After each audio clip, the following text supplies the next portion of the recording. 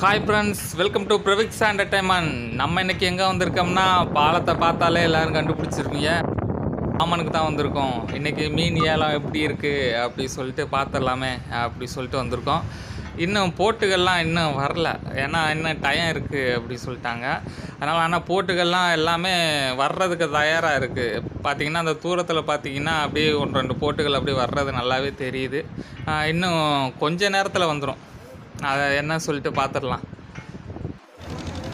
Okay பாருங்கள் அந்த வந்துருச்சு பாருங்கள் போட்டு இந்த போட்டில் இருந்துட்டு ஆழம் கம்மியாக இருக்கிறதுனால இது அந்த சின்ன வள்ளங்கள்லாம் இருக்குது பார்த்தீங்களா அதில் மீன்களெல்லாம் இறக்கிறாங்க இறக்கிடுறாங்க.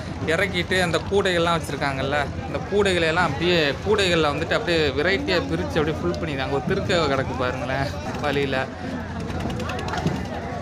அந்த கூடைகளில் மீன்களையெல்லாம் அப்படியே ஃபில் பண்ணிடுறாங்க.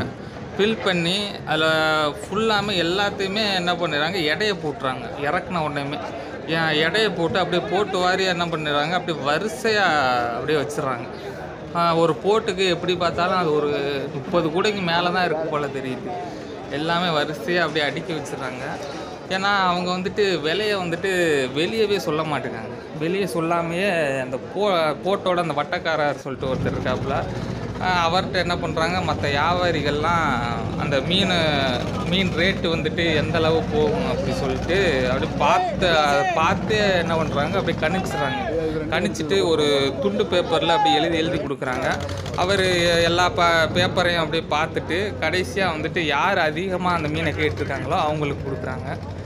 அந்த வீடியோ பிடிச்சிருந்தா ஷேர் பண்ணுங்கள் லைக் பண்ணுங்கள் கமெண்ட் பண்ணுங்கள் மறக்காமல் பெல் பட்டன் அமைக்கங்க. Next video